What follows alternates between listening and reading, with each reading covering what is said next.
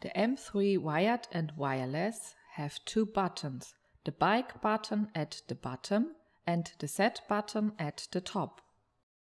When using a new device, a few settings must initially be configured. This can be found in the setting menu.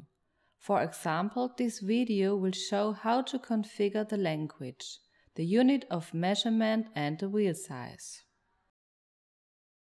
The setting menu is opened by pressing and holding the set button for a couple of seconds. Menu open flashes on the display. The first menu item totals then appears. Press the bike button to change to settings and open this by pressing the set button. All settings, such as the unit of measurement or the wheel size, can be configured at this menu level.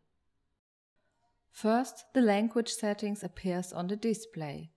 To open the language setting, press the set button. Press the bike button to scroll through the individual languages until the desired language appears on the display. Confirm your selection by pressing the set button. You can then scroll to the next setting by pressing the bike button.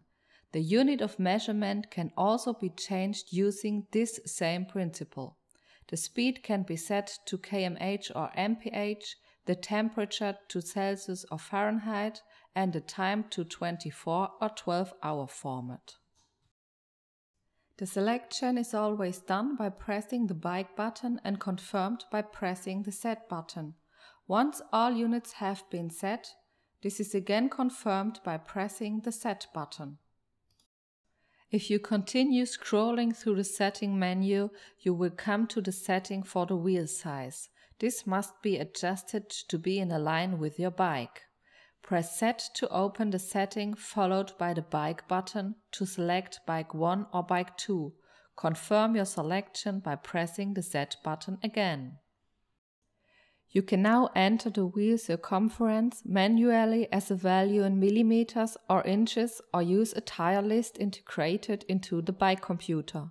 The most common tire sizes are stored in the tire list and simply have to be selected by pressing the bike button.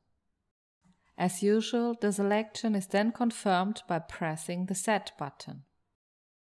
Further settings can also be made to configure the bike computer. Once you have configured all settings, press and hold the set button for a couple of seconds to return to the function menu. Menu close flashes on the display.